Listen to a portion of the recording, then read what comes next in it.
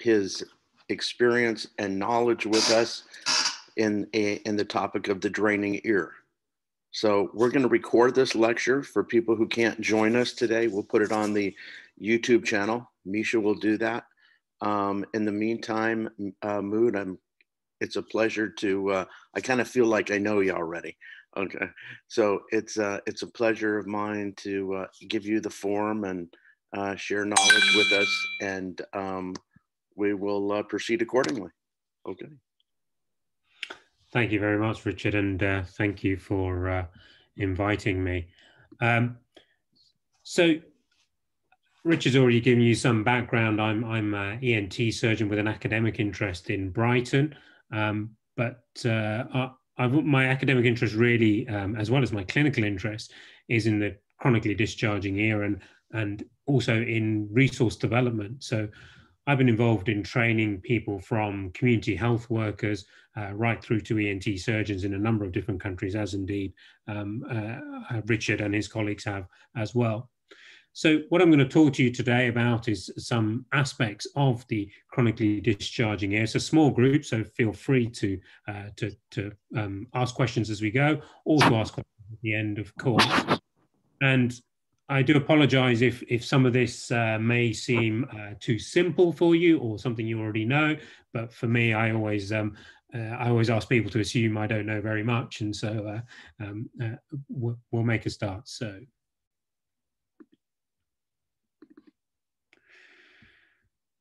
So what we're talking about here is the discharging ear, and this is sometimes how things present to us.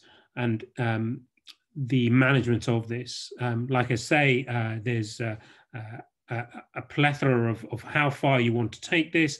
I'm going to give you some pointers as to what I think uh, are useful um, clinical um, decisions uh, to be made about the discharging ear.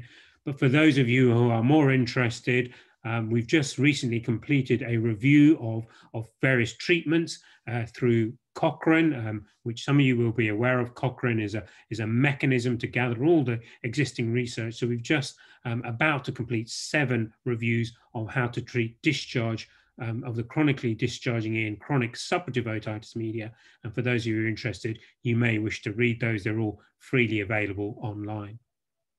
So again, I'll start quite simple because it may be that certainly uh, others who will listen to this later will not be as experienced as some of our audience here. Obviously, the discharging ear includes uh, uh, different sort of areas that the, the discharge could come from. It could, of course, come from the um, outer ear, but it could come from the middle ear. Um, the outer ear and the middle ear, of course, we uh, ENT surgeons will be well aware of. Um, the outer ear, including the pinna and the ear canal. So it's a inflammation and infection of the ear canal and uh, or an inflammation and infection of the middle ear space. Now, discharge is really only going to happen if you've got a hole in the tympanic membrane. Um, so that's what we find is either an infection of the outer ear or an infection of the tympanic membrane with a hole.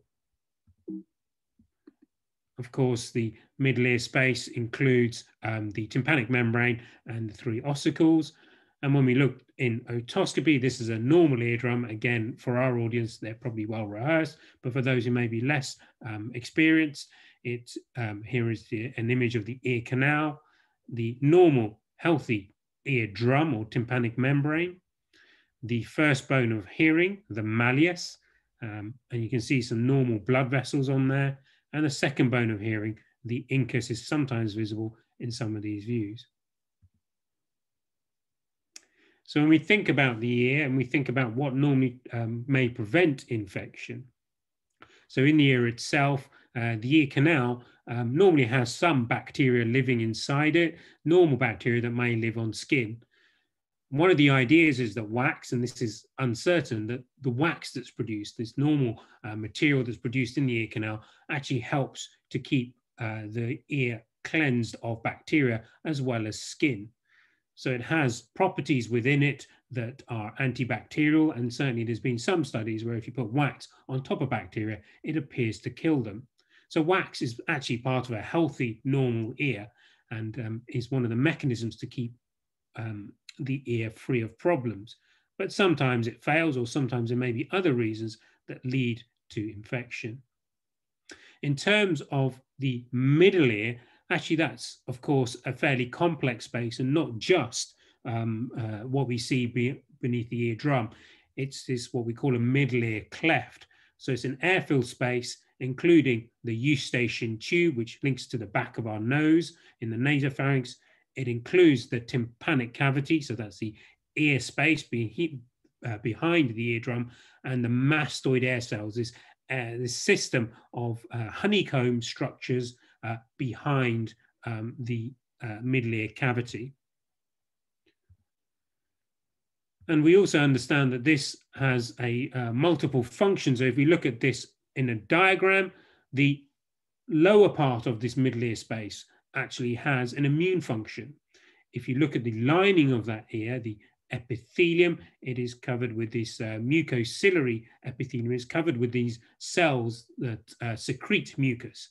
And that mucus is then produced and passed down the eustachian tube to clear out the uh, middle ear space.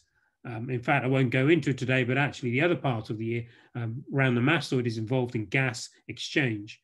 So this lower part of the ear is involved in immune function, cleaning out the ear, and has quite a large task because if we look at the back of the nose within what we call the nasopharynx, that space behind uh, uh, the, the nasal cavity proper, you find there are lots of bacteria.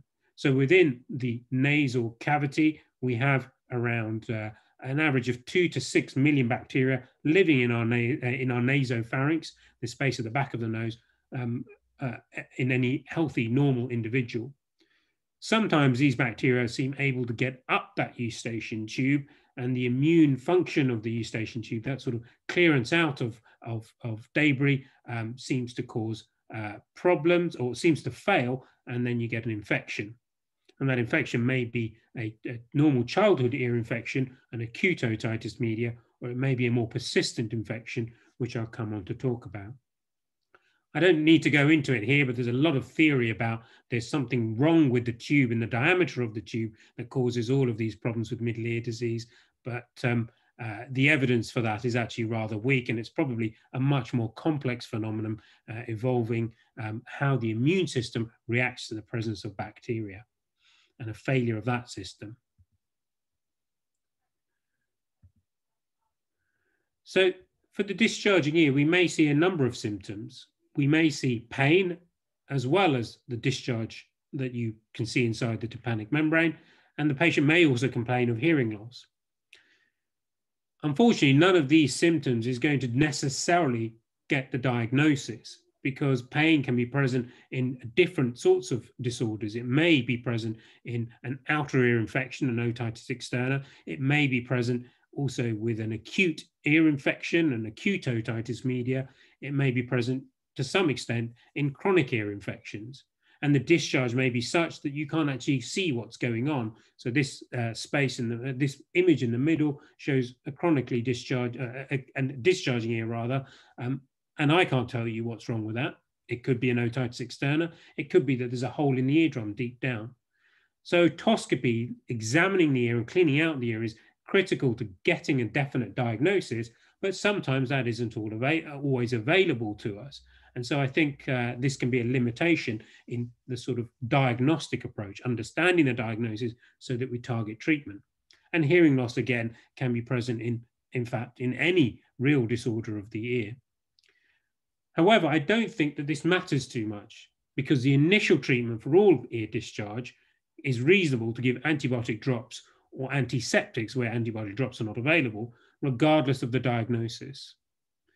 That will treat the majority of things. And it may be that if that fails, uh, it, or, or, rather, if that is successful treatment, you may then be able to look in the ear and get the diagnosis, or the patient may not come back. But if it fails to uh, be successful, then perhaps at that point, you will uh, refer on to uh, appropriate services where the diagnosis can be made and, and further treatment uh, initiated if required.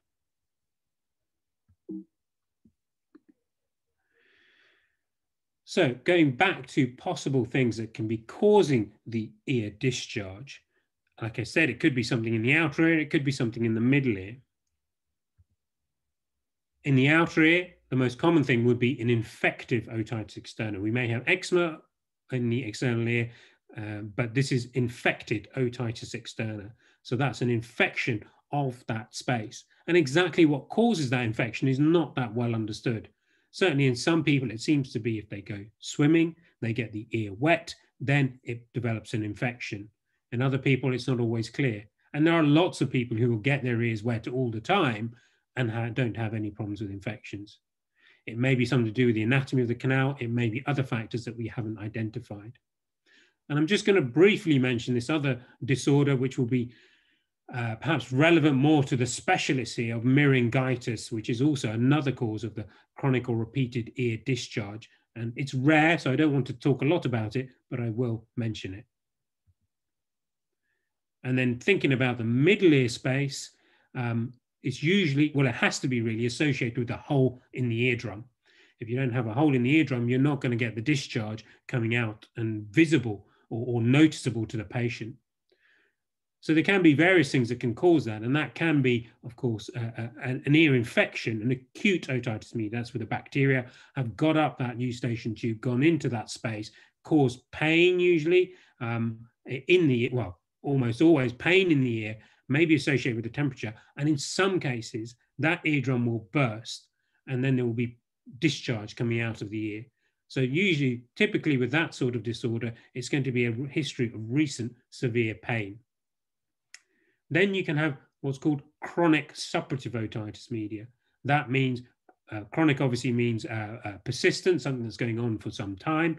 Um, so that means uh, discharge that comes out of the ear over a period. And it may be that it's continuously discharging, or it may be that the ear discharges from time to time.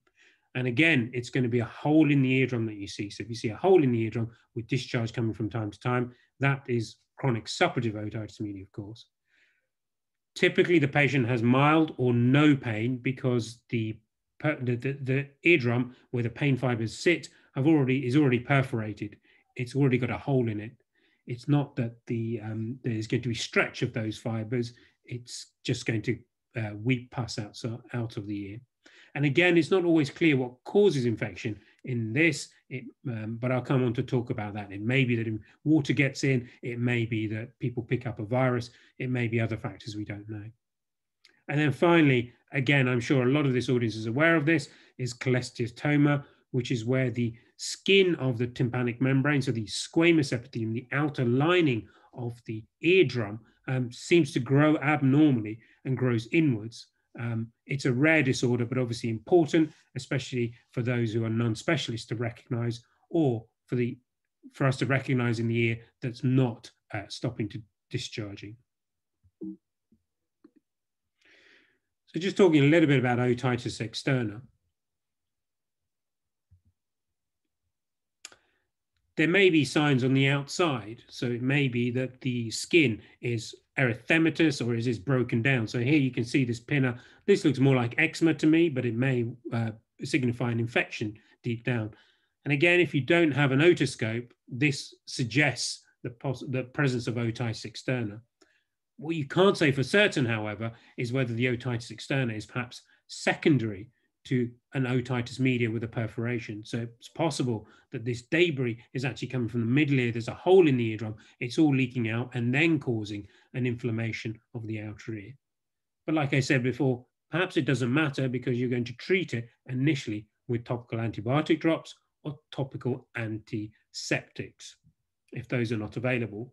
When you perform otoscopy, if you have an otoscope available, you're going to see debris in the ear canal classically, as you can see in this middle picture. Um, and that's actually the skin, of course, that's, um, that's become unhealthy and it's just coming into the middle ear space. In more severe cases, the ear canal may be very, very swollen, and you can see this picture on the right. And when it is this swollen, it may be very difficult to get access into the ear. And sometimes we put some packing inside the ear to just open that up, impregnated with antibiotics or antiseptics to try and get things to calm down a little so that we can then put in our treatments such as topical drops. So in terms of treatment, it's important that the patient keeps the ear dry. They often will during an acute infection, but also at, at once we've got the infection resolved, if the ear gets wet again in the near future, it may well get another infection because that moisture may get trapped. And if the moisture is trapped, it's going to encourage bacteria to grow. We know from these reviews, so this sort of uh, uh, mechanism I mentioned called Cochrane, uh, which looks at all the evidence, that antibiotic drops do seem to work um, in the majority of cases. So usually you just need antibiotics and everything will settle. There's no particular antibiotic drop that is recommended. They, uh, we don't have enough evidence to say that one is better than the other. So hopefully it's whatever you can get hold of. Now, I appreciate that not everybody can get hold of antibiotic drops. And so there's also the alternative of using acetic acid. Acetic acid is actually vinegar. Um, and I certainly know uh, in some situations where people cannot get hold of anything, they will can get hold of vinegar and they will put vinegar inside the ear. So acetic acid is actually can be quite effective. It essentially dries the ear, dries everything out. And if there are bacteria or even fungus present in the ear, the acetic acid just dries it out and kills those um, uh, organisms. You do have to be a little bit careful if you think there might be a hole in the eardrum because acetic acid going through into the middle ear potentially could cause some damage to the inner ear. Uh, we don't even we don't really know if that um, is a serious risk, but certainly some caution is advised. Some people will give tablet antibiotics, but we certainly have a lot, le lot less evidence to suggest that that's going to be effective. So as with most discharge, discharging ears, it's usually best if you give treatment directly into the ear where feasible. If you can't get antibiotic drops, you may wish to try acetic acid. You may give oral antibiotics, antibiotics by mouth if, if that's what you have available. The technique for giving the drops is also important. Of course, the patient should be on their side, and that's to allow the drops to get down. And you should straighten the ear canal. So in an adult, you're going to pull the ear back and out, um, back and up, sorry, to straighten the ear canal. In a child, you tend to pull it just straight back. This will allow the drops to uh, penetrate down as far as possible deep into the ear canal. You need some care. Often the, the ear is actually very quite tender in this sort of infection, the outer ear infection. And so uh, just be aware of that and teach the patient, of course, to continue with any drops you've given using the same approach. They may need someone to help them, particularly if they're a child. If that fails, then cleaning the ear is a good idea. And indeed, if you have the facility to clean the ear in uh, your setting, that would be an important part of the management because all that infected dead skin is just lying there. And it's obviously much better if you clean that out and then you put in the antibiotics because you're going to get much more of the antibiotic onto the actual uh, infected skin rather than just lying on top of a lot of infected uh, debris. So if you're uh, in a situation where you don't have the ability to clean the ear out, you would try with some treatments first, as I've mentioned. And if that fails, you would consider uh, referring, hopefully, to somewhere that has facilities for cleaning out the ear that's usually effective. So as I mentioned, this is not going to be necessarily relevant for the majority of people who may be listening to this talk, but perhaps for some of you on, uh, who are listening live, and that's myringitis. Myringitis is an inflammation of the outer layer of the eardrum. Um, you may have seen it, you may not have. And I'm just going to mention as another cause of discharge of the ear. This is what it may look like. So on the left, you've got an area of myringitis. That eardrum has a, a patch of some redness across it um, up in the superior part here, as you can see, and some granulation tissue. So this is what I call a focal myringitis. Part of the eardrum is inflamed. In this picture on the right, it's much more profuse. It's very, very inflamed. The whole eardrum is replaced by this thick inflamed tissue. Despite years of research, we don't really understand what causes this. Sometimes it seems to happen after an operation. Sometimes people just present with it, and it can be quite difficult to treat. I'm just mentioning it so that you can uh, sort of recognize um, that it exists. There is some evidence that if you give steroids, so anti-inflammatory uh, medication into the ears, um, either as drops or sometimes if you have a steroid injection, you can place that over the area. It may calm things down. Some people also give antibiotics. We're not sure whether antibiotics help because it's not clear that this is an infection. It's just a persistent inflammation. If you have the facilities, and I appreciate that that may not be uh, possible everywhere, there is evidence to uh, do surgery to remove the abnormal part of the eardrum, um, and that can be uh, effective. And I've certainly had some that have settled using that. So that was the outer ear, and then thinking about what other things could be causing ear discharge. I was going to come on to middle ear problems. So that's otitis media, of course, inflammation of that middle ear space. So acute otitis media, that's your normal ear infection, of course, is very, very common, particularly in children, but also seen in adults. And typically, as I mentioned, people will, of course, present with pain in the ear and um, uh, sometimes a temperature. It's only a small number that will present with uh, discharge because the eardrum has burst and they've now got um, a perforation uh, of the tympanic membrane. So this might be the sort of sequence that you see. So someone may sort of start with some ear pain, as you can see on the picture on the left here. This is actually quite an inflamed eardrum. Um, it's not always clear. Sometimes the eardrum just looks a little red and it's not clear what's going on. But if someone's saying that they've got ear pain, then it's likely to be an acute otitis media, a, a, an ear infection. Obviously, with younger children, they may not be able to tell you, they may just be crying. Then, as it progresses, if it progresses, often it just settles down within a day or two days. But if it progresses, there may be temperature as well. People may become quite unwell.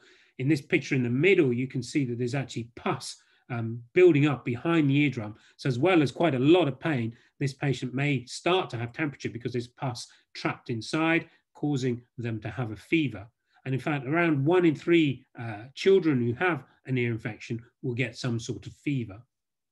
Again, usually this will settle down, but in about one in 50 cases of ear infection, the eardrum will burst because of the pressure that it's under and because of the pus actually causing some damage to it, eventually it bursts. At that point, often, if the hole is big, patient will say, oh, the pain is much better because the eardrum has burst, but they might start getting discharge coming out of the ear. So I'm talking about treatment really only here where an eardrum has burst. If you've just got an acute otitis media, an ear infection, you don't necessarily need to give antibiotics unless the patient is quite unwell or the infection has been going on for some time.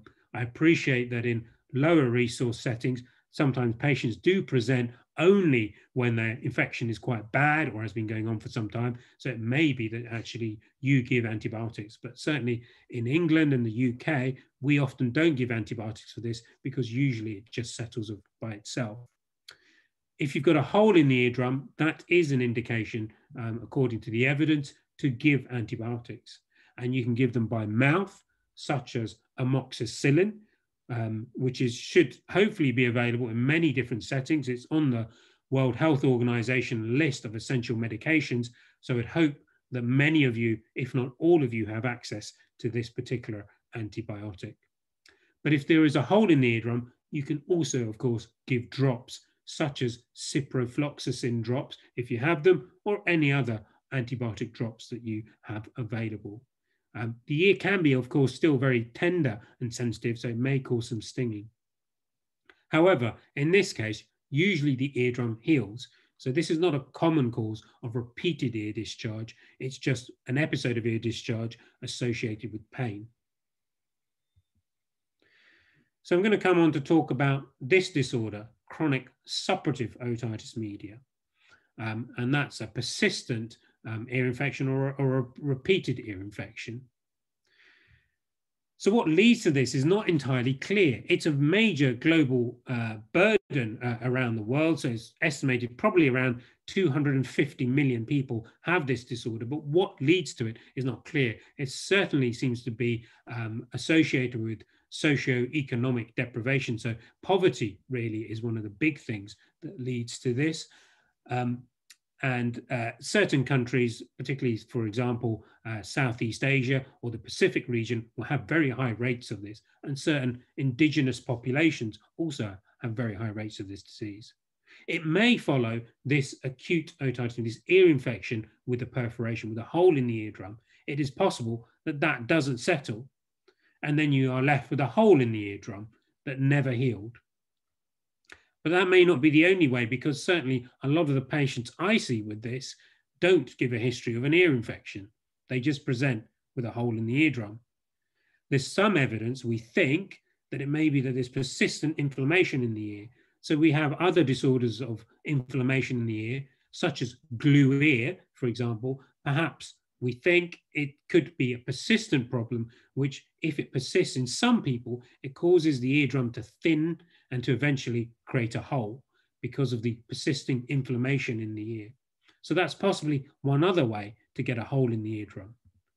Or it could be because a surgeon has done something. So, for example, for treating glue ear, we may do surgery inserting a tube called grommet, not available in every country, but available in some countries. And one of the risks of putting a tube into the ear, this grommet, is that you can be left with a hole in the eardrum on a permanent basis. So that may be the cause of the hole in the eardrum. Or it could be an injury. So there may be some trauma to the ear, either um, a road traffic accident, sometimes it can be a big blast injury from sound that causes a hole into the eardrum. Most of those injuries will actually heal, but some of them will not. And again, you'll be left with a hole in the eardrum. But uh, lots of people present, in my experience, with a hole in the eardrum, and it's not entirely clear where it has come from.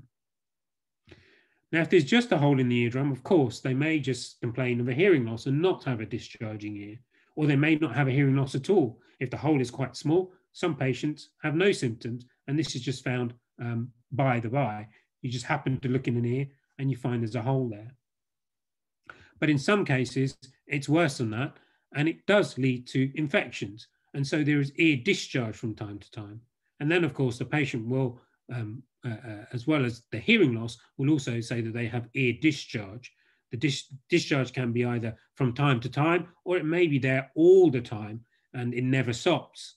Sometimes they have some pain as well, but it's usually mild, and that's uh, usually the difference between obviously a recent ear infection um, causing a new hole in the eardrum versus one that's been there for some time and is now just discharging uh, pus um, from, from time to time. And, and as I say, what exactly causes this discharge to start or to come back is not clear. Sometimes it's people getting water into their ear that goes through that hole and makes it very wet in that middle ear space. Other times it is uh, perhaps they picked up a virus and bacteria go up the eustachian tube, go into that space, and then come out through the hole. Or there may be other things that we don't fully understand. So when you've got that discharging hole in the eardrum, um, what treatment do we offer? So I think personally it's very important to try and clean as much of that pus away. Again, we're going to give topical treatments, that's treatments directly onto the uh, infected area. But first we should clean the ear to get rid of as much pus as possible because putting, for example, antibiotics onto pus um, uh, is far less effective than if you've got a, a cleaner ear. So again, people should keep their ear dry, of course. And then we want to clean out the ear. And one easy way to do this is using tissue spears. So I've become quite a fan of tissue spears. It's just simply getting some tissue. Um, toilet roll is not ideal, but if that's all you've got, then you can use that. And rolling it up into this um, little uh, spear, as it were, uh, uh, and putting that inside the ear.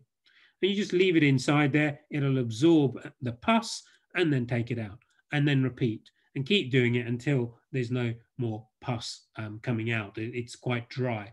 That will help to absorb all that pus and allow you to get deeper down. This is not going to cause any harm. At the worst, if you touch the eardrum, it'll cause some pain and the person will stop, but it's not, it's too soft to cause any harm to any structures inside. The other possibility is to wash out the ear. So we can use antiseptics to clean the ear, such as iodine-based antiseptics, which are widely available, um, uh, and that can be a useful treatment.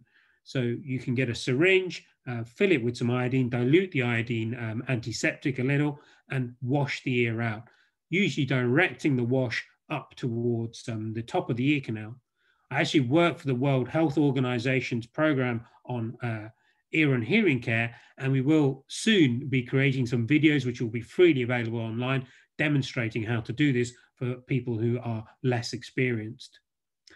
But we don't really have any good evidence that this by itself is effective in treating these problems, but that's not because it isn't. It's probably because we haven't done enough um, investigations, any trials really of this medication. And that is something, again, that I'm trying to get started to see if this by itself may be beneficial, because I recognize that not everywhere has um, antibiotic drops available. The ideal is to give antibiotic drops, and this series of reviews that we've just completed actually suggests you can use any antibiotic drops, but probably um, drops of uh, the antibiotic class quinolones. So that includes drugs such as ciprofloxacin, ofloxacin, norfloxacin. If you have those available, those seem to be highly effective. They also don't seem to have any potential risk of damaging the inner ear. And that's the same of iodine, I should have mentioned. Um, if you're going to use anti, uh, uh, antiseptics, such as iodine, iodine is harmless to the ear. Alcohol-based antiseptics can damage the inner ear, and so really should not be used. If you don't have antibiotic drops available, um, then you can use antibiotics by mouth. When we did our reviews, we found that antibiotics by mouth didn't seem to be as effective as antibiotic drops which again makes sense because, of course, you're going to get much higher concentrations of the antibiotic, uh, much stronger strength into the ear if you give it directly. You're also going to have less side effects, of course, because the antibiotics don't go into the rest of the body, whereas antibiotics by mouth can give you side effects such as diarrhea in this instance, when you're giving antibiotics, as well as um, asking the patient to lean over um, and as they're dropped in and stay on their side so the drops move down, I also recommend using something called a tragal massage. So the tragus, the bit in front of the pinna, um, as you can see on the picture here, should be pushed. And what that does is it pumps those drops deep down and hopefully through any hole and deep down into the middle ear space where the ear where the middle ear infection exists. So that's an important thing. And sometimes a patient will say that they can taste something. And that's because the drops have gone all the way through the eardrum and also passed down the eustachian tube. And that tells you that you have got the drops into the middle ear space. So why would treatment not work? Because it doesn't always work. So in our review, we found that drops seem to work about 70 to 80% of the time. And in some cases, they don't work. So there might be several reasons for that. One might be the drops didn't get to where they were supposed to get to. It may be that the technique was not great. Um, it may be that you didn't explain it very well, the patient didn't understand it very well, they haven't been putting their head to the side, they haven't been massaging, maybe they haven't been putting enough drops in. Um, we normally say two or three drops. If it's ciprofloxacin, to be honest, you can use many more than that because it seems to be pretty harmless. It's possible that there was too much pus in the ear. If there's too much pus, your drops are really not going to get on top of that. And so it's important that the ear is cleaned. And that may include washout with antiseptic. It may include sucking out the ear if you've got the facilities. It may include using the tissue spears that I've mentioned. The other possibility is that the hole in the eardrum is too small, and I've certainly seen this from time to time. So in some perforations, I've actually borrowed this slide from GE Outreach's uh, uh, website. Some perforations are tiny. You have a very small hole. Then it's very difficult for the drops to actually get through that hole. So again, if you have the expertise and the availability, what I suggest is you get a syringe with a blunt needle, you fill it with some antibiotic drops, and you squirt through that hole. And in fact, I did that just last week on a, on a case that just wouldn't settle and it settled straight away. So that can be quite effective for those few cases where you've got a very small hole with discharge coming through it.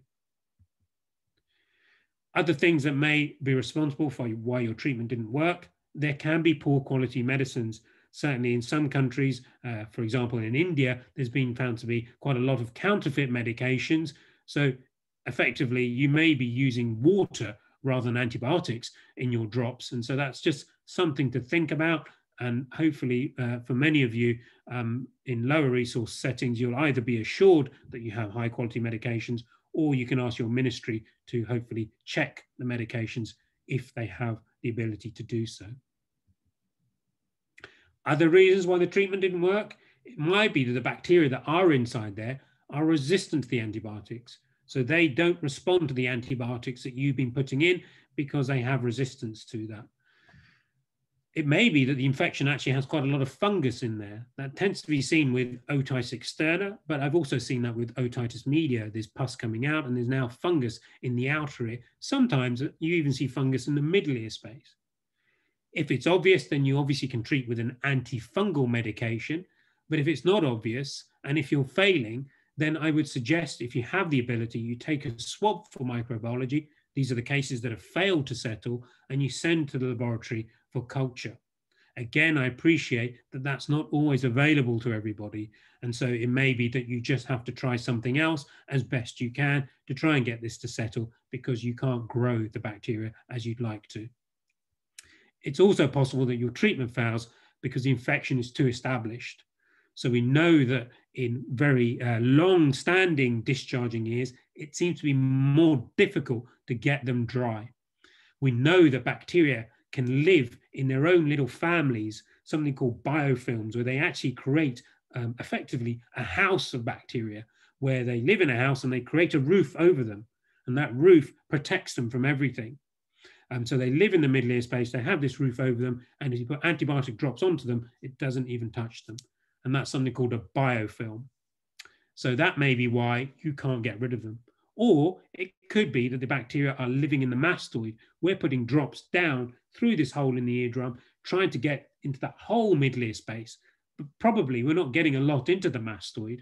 And it may be that in that mastoid, there's lots of bacteria living and they just come back um, off, which is a reason why your treatment failed. Or it may be that there is a different diagnosis, that actually there's this other disorder called cholesteatoma, which I'll talk about at the end. And that may be a reason your treatment has failed because you're not you're treating something different that will not respond long term to antibiotic drops. And then, of course, the treatment can be surgery. So that is myringoplasty to repair the eardrum. Um, and what we don't know is if you treat um, an ear that's been discharging for a long, long time, whether actually you get the eardrum dry, sorry, you get the ear dry and the eardrum heals by itself. In my experience, it doesn't, and you're still going to have a hole in the eardrum, and it will probably recur. So in that situation where a patient has either repeated ear discharge or, a, or quite a hearing loss associated with the hole in the eardrum, and it's not healed of its own accord, you could offer a myringoplasty. Obviously, that's a repair of the eardrum, which tends to be successful in 80 to 90% of the time. And again, I appreciate that that depends upon the availability in your facility of things such as microscopes, such as instruments, um, um, available to do this sort of surgery. There's also sometimes the ossicles, so the bones of hearing, are um, eroded from the persistent infection in some of these cases. Um, I'd say about one in 10 cases um, in low resource settings, I find that the, the bones of hearing are also destroyed. And if you're lucky enough to have artificial bones, you can put those in. If not, you can do surgery um, on the um, ossicles. So, for example, uh, taking the incus, uh, turning it around, carving it, and trying to get uh, the bones uh, to uh, the ossicles to realign. Um, again, I'm not going to go into the surgery here today because that's probably a difference to talk. And then finally, I was just going to mention cholesteatoma. So cholesteatoma, uh, many of you will be aware, is this skin of the eardrum that grows abnormally, and the cause of it is not clear it seems to be people who've had some sort of problem their, with their ear and ear um, inflammation for, for quite some time. And the skin of the eardrum grows and becomes abnormal and then becomes this massive skin that's growing by itself and simply won't stop growing. There is an associated hole in the eardrum from where that skin has grown inwards. And so they will present with sometimes persistent ear discharge, sometimes discharge that comes and goes. They might have some mild pain and they might have some hearing loss. The problem is that those symptoms, of course, don't tell you that it's a cholesteatoma. That could be a hole in the eardrum. It could even be otitis externa that's not settling. And so it's critical is to the diagnosis is having a look and finding its appearance on otoscopy. The presence of skin in the middle ear space basically, of course, clinches a diagnosis of cholesteatoma. So it's rare, thought to affect one in 10,000 people uh, per year, but it's an important diagnosis because it can be dangerous. So I always tell people to be beware of discharging ear that will not settle. Um, beware of the uh, if you see a polyp on the eardrum, yeah. So the risks of cholesteatoma are that if it continues to grow, you it could cause hearing loss through damage of the ossicles, facial weakness if it erodes into the facial nerve, which of course runs through that middle ear space, or if it spreads above the ear and goes uh, into other structures, in particular around the brain, to cause meningitis or to cause a brain abscess. The leading cause of abscess in the brain um, in, uh, the, in the area, the temporal lobe of the brain just above the ear is ear disease. So here's some examples of cholesteatoma. On the left is an early cholesteatoma, this sort of skin that's developed up in the top of the eardrum. Um, it looks like a bit of wax, but of course it's trapped skin that's growing in. Um, and actually, if you look carefully, you can see it's down here as well. So it's grown through behind the eardrum. This is a more extensive cholesteatoma in the middle. And here, a lot of the ear has been destroyed. The tympanic membrane is, is, is uh, the eardrum is missing, as well as some erosion of the bone. And probably the bones of hearing, the ossicles, have also been destroyed um, and surrounded by this mass. And then the picture on the right is an ear polyp. So this sort of inflamed bruised tissue, what we call granulation tissue, that's just there and won't settle. And it's not unusual, in my experience, it's quite common that if you um, get that polyp to settle down or you remove it, underneath there, there will be a cholesteatoma that's causing this um, bruised appearance.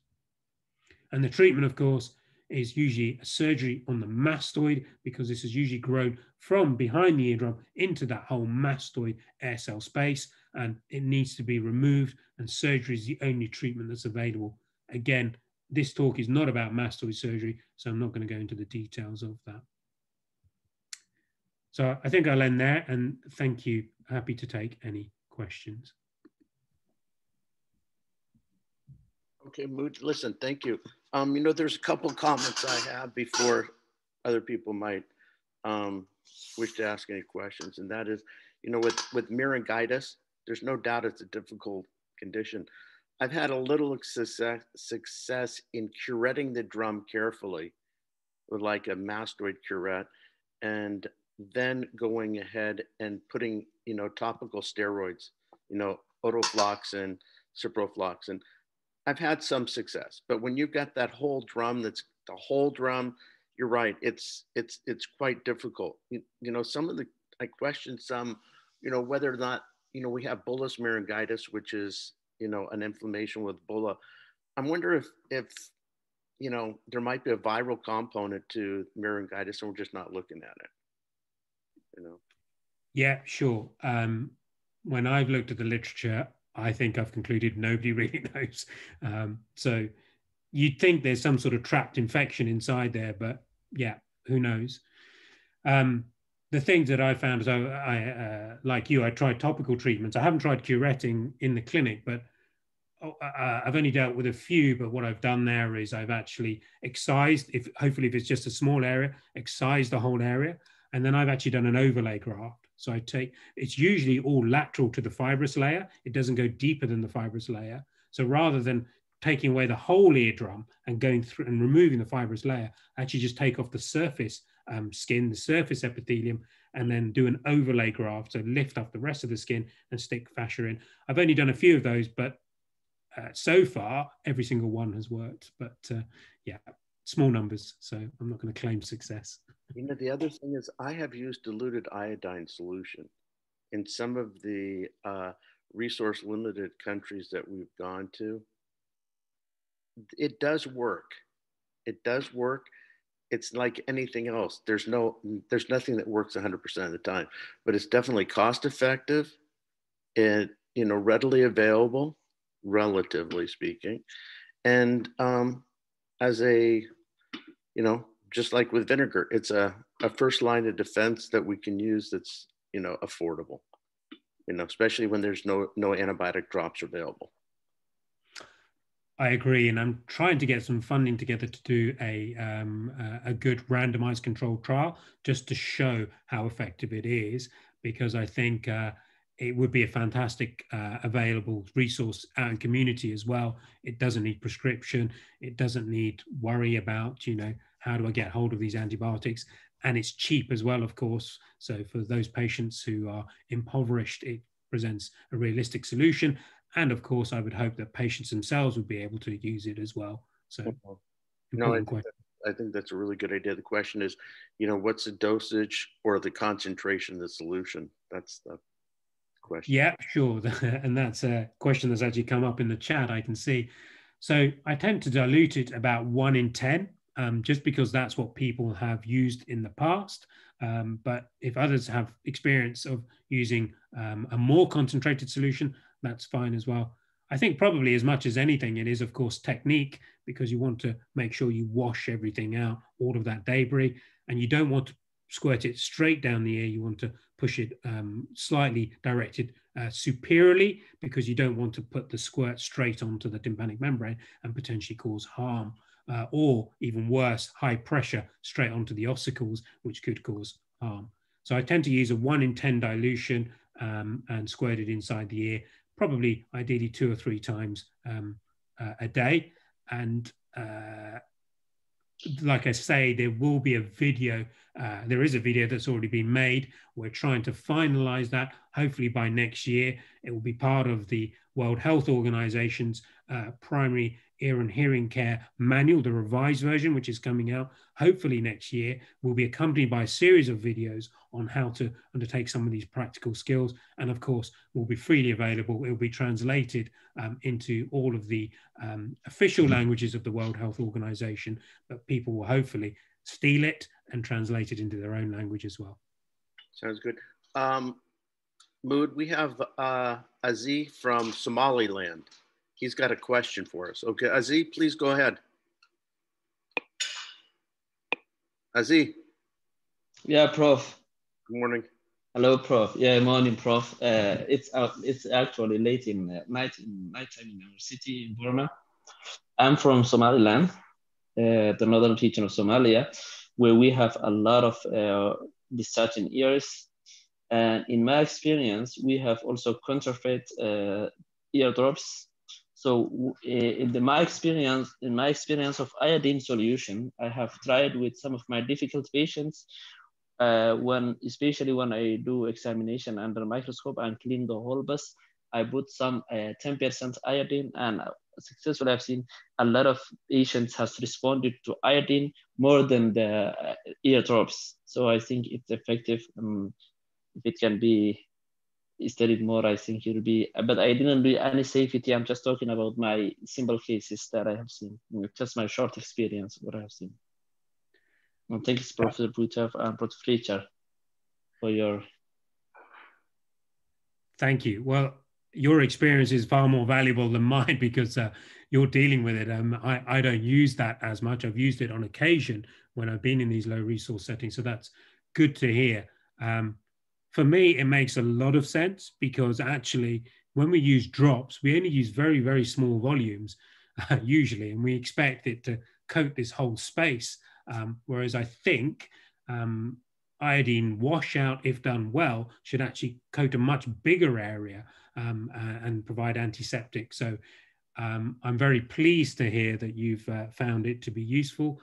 Um, I think it is a good thing, and I think um, it'd just be good to do some some trials to um, sort of um, work out the actual data on how effective it is, which is an important thing to try and push it forward to say this is what we should be using. So thank you for sharing your experience. You know, thank you, Prof. Let me, Appreciate it. Let me kind of add to that. You know, I've done, I, I did at one time in my career do a lot of work in Southeast Asia, in Cambodia. And their drugs come from either China or India. The majority of the time, I'm talking about not only antibiotics, but I'm talking about simple epinephrine. And there was no doubt, there was no doubt the drugs that came from China were much worse than the drugs that came from India. India has a huge pharmaceutical industry, much higher standards than China. Okay. And they still have counterfeit stuff that comes out of India, but at a much less rate than you do out of China. We would use three to four times the dose of epinephrine in Cambodia just to get the, you know, vasoconstrictive effect of the medication, let alone the fact that the antibiotics, forget it. Forget it. Unless you had one that was imported, much more expensive, the drugs, there's a huge, a huge black market for counterfeit medications. Um, those are my my contributions. Anybody else have any any comments? We usually have uh, Misha. Do you have any any comments or or uh, Roman? Roman, do you have any comments from Ukraine? I certainly uh, do. Hi, Mood. It's absolutely lovely to hear you speak. And I think I just wanted to say I thought it was a particularly relevant and useful lecture for uh, this group. I hope that um, on the on the Geo YouTube it'll get it'll get uh, an even wider exposure. Um, my question really relates to the practicalities of keeping the ear dry and reducing the chance of infections from stagnant water and swimming in pools, that sort of thing. Um, do you have any specific advice from a public health point of view uh, on how people in resource limited settings keep their ears dry and in terms of where it is safe to swim and where it is not safe to swim, um, particularly with children? Uh, thanks, Misha. Um, uh, not an easy question to answer. So the ideal, of course, is that um, you should keep your ear dry, full stop. If there is, you, you shouldn't let any water get in. Obviously, if if um, a space is uh, more dirty, such as stagnant water, you'd imagine that's full of bacteria, as opposed to um, a, a, river, for example, a fresh freshwater river. Having said that, of course, if the water then gets in and is trapped inside the middle ear space, that is much more likely to cause problems. I've certainly had some patients who seem to get their ear wet with a hole in the eardrum and have no problems, but that is the minority. So, in terms of what can you do, um, I know that uh, uh, you know certainly in the UK we would use, for example, some cotton wool we're covered with some sort of petroleum jelly and put that into the ear. Whether or not that's available in low resource settings, uh, I'm not sure. I also know of people using things such as uh, some uh, like uh, uh, a compound such as uh, the commercial product Blu Tack and putting that in their ear to protect the eardrum. But I do I have certainly found that this is um, perhaps uh, uh, unrealistic. So uh, I've done some work in remote parts of Australia as well with the Aboriginal populations who have huge rates of chronic suppurative otitis media, and to suggest to a child that they should not go and jump in the watering hole when it is 45 degrees Celsius outside is perhaps uh, quite unrealistic. But I'd be very happy to hear if anyone here has any um, uh, good, useful tips in that regard. Thanks, Mood. I, th I, think it's one of those very difficult situations, um, especially, especially as you say, in those settings where jumping in the watering hole is far, far too tempting. Thank you. I appreciate that, Misha. Um, Oscar, do you have any comments from Ukraine? Hello, uh, thank you for such a nice presentation. Um, the comments maybe uh, sometimes we question actually the quality of our medicines that are available and I, I believe that Richard can confirm this uh, information. Uh, and but the the other uh, especially topical treatment as, as you mentioned in your presentation otitis media and externa is is actually widely available in Ukraine and it's it's it's pretty cheap. Uh, for example, the the the bottle of ear drops is cost around three US dollars uh, in Ukraine. So uh, I don't think that people here have problems with buying the, the, the basic uh, uh treatment for such conditions. But uh, it was nice to hear that uh, the, the acetic acid that you mentioned, the, the vinegar is actually very helpful in terms of treatment of otitis. All right. Anybody else have any comments they'd like to share with us? If not, I'd like to thank you for his uh, for his evening uh, evening talk. Uh, you know, I think there. You know, we got to look at other things, especially when we got these small perforations about you know blunt needle injection of you know medication transtympanically. And then we, sh- we should always never forget that the mastoid is a culprit of harboring disease if you had a chronic draining ear. So uh, surgically addressing that is something that one always has to keep in the back of their mind. So in that, with that said, Mood, thank you very much. Um, we appreciate your time and um, thank you everybody for joining today. We'll put this on YouTube uh, channel for Misha um, later today or tomorrow. And for other people who couldn't join, they can watch it. So Mood, thank you. Everybody have a good holiday and we'll be in touch. Thank you. Thank you, Prof.